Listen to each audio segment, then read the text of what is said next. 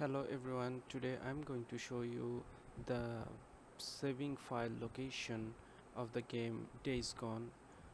For that just go to this PC and open drive C and then open this user folder and then find your ID I mean your name.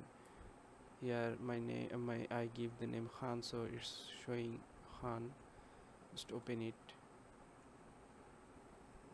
and find app data. Here it is. And then open this folder local. And then you can see this folder is the saving uh, file location of the game days gone. BendGame. If you open it you will find a folder like this. Just copy this folder to anywhere else so that you can use it if you lost your saving data. Now I am going to show you how can you load your game from the last saving point by using this backup file. For a reason I have to reinstall my OS that's why I lost all my game save data and gaming progress. But I took the backup before installing OS here is the backup file BendGame now we have to open the game first and select new game.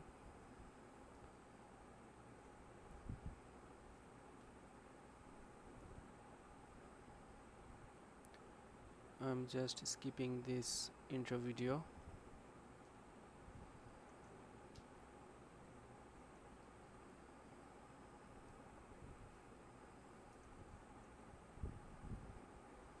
Okay now go to the load game section. Here you can see there is no previous save game file is showing here except this new one. Now we have to go to the location of the saving saving location of the days gone game. For that we have to go drive C then users then your name then app data then local. Here you can see the BendGame folder just open it.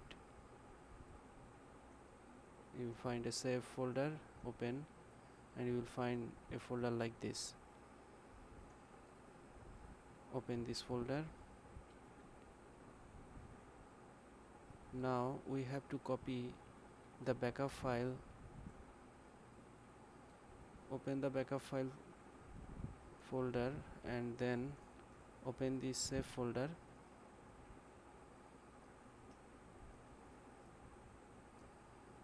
And then open this folder and copy all these files to the saving directory. Just paste it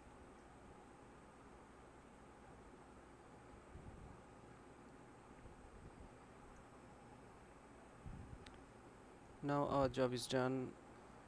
Go to the game again just close it and go to the load game section again.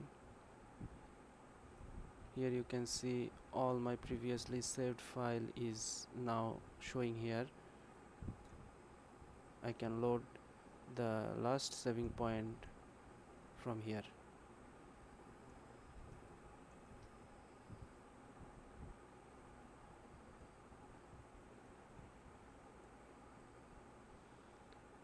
I hope this video will help you and these tricks will work with other games too. Thank you everyone